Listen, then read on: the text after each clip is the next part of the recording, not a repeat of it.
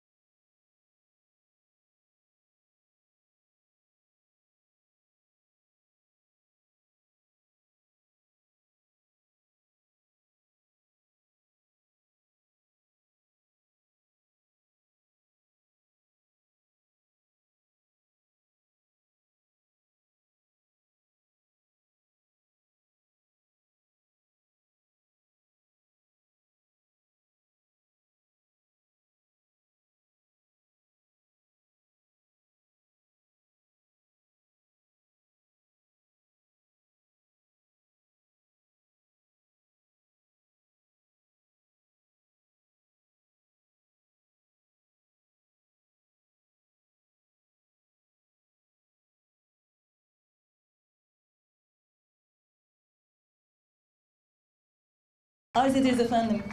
Şimdi de Karşıyaka'da hayata geçirdiği projelerle İzmir için yeni dönemde umut ışıkları yakan, büyük bir sevgi, büyük bir azim ve büyük bir kararlılıkla İzmir'imize birbirinden güzel yenilikler katmaya gelen İzmir Büyükşehir Belediye Başkanımız Sayın Doktor Cemil Tugay'ı konuşmasını gerçekleştirmek üzere kürsüye arz ediyoruz.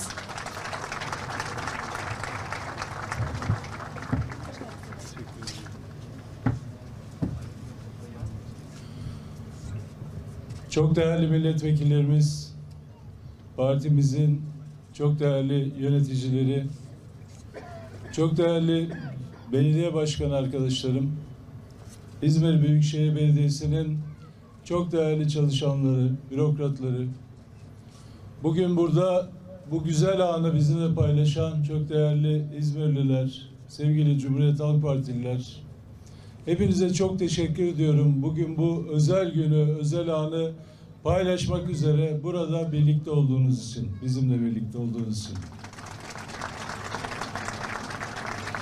Bugün bugün 6 Nisan 2024 31 Mart seçimlerinden sonra dün mazbatamı aldım ve bugün itibariyle görev devir teslimiyle yeni dönemi resmen başlatmış olacağız. Bu dönem geçen birkaç ay içerisinde bizler için pek çok zorluklarla doluydu. Ya da belki biraz daha doğru tanımlamak gerekirse özellikle Mayıs genel seçimlerinden sonra sanki ülkemizde artık bir şeylerin düzelme ihtimalinin kalmadığına dair üzüntünün yaygın olduğu, insanlarımızın umutsuz olduğu o aylardan sonra gelen bir seçim oldu. 31 Mart seçimi. Çok mücadele ettik. Halkımıza kulak verdik. Onların bizden beklediklerini doğru anlayarak onlarla kucaklaşmaya, onlarla duyguda, düşüncede, hedefte, gelecekte birlikte olduğumuzu onlara ifade etmeye çalıştık. Çok mutluyuz ve daha önemlisi geleceğe dair de çok umutluyuz ki bize bu son yerel seçimlerde inandıklarını gösterdikleri sonuçlar armağan ettiler.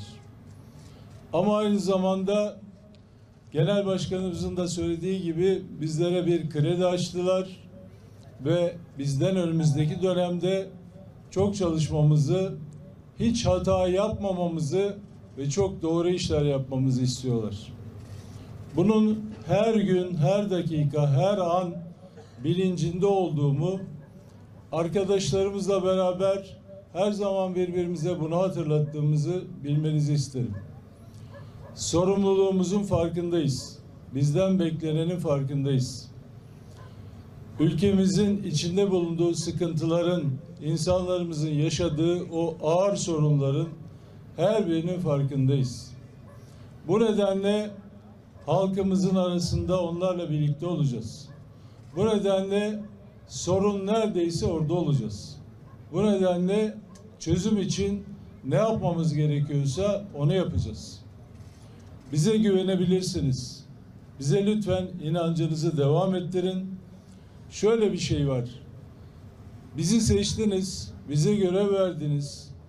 Seçimlerde oy kullanmaktan ibaret değildir.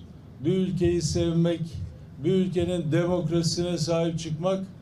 Bu mücadeleyi birlikte yapacağız. Ben öncelikle hem İzmir Büyükşehir Belediyesi'nde hem de 30 ilçe belediyemizde çalışan tüm arkadaşlarımızı daha önceden yaptıklarından daha fazla sorumluluk almaya, daha fazla çaba göstermeye davet etmek istiyorum. Ve özellikle Atatürk'ümüzün kurduğu Cumhuriyet Halk Partisi örgütünü tüm bireyleriyle yanımızda görmek istiyorum.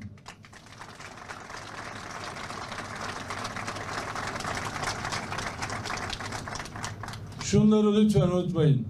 Biz partimizle gurur duyuyoruz. Biz cumhuriyetimizle gurur duyuyoruz. Biz İzmir'imizle gurur duyuyoruz. Biz insanlarımızla, halkımızla, her bir ferdiyle gurur duyuyoruz.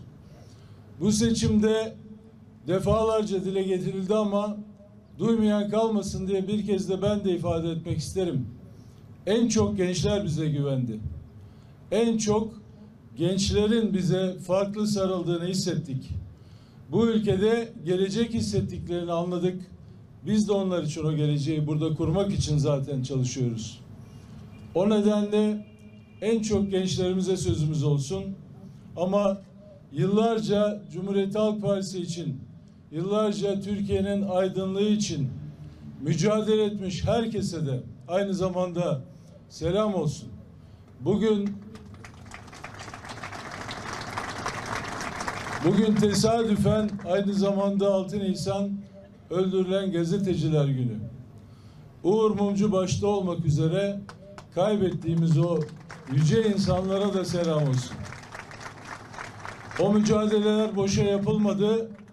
Bugün bu bayrak bizde. O mücadelenin devamını bu koşuda biz sürdürmeye devam edeceğiz. Milletimiz büyük, ülkemiz büyük, tarihimiz şanlı, geleceğimiz de aydınlık olacak. Hepimize hayırlı olsun.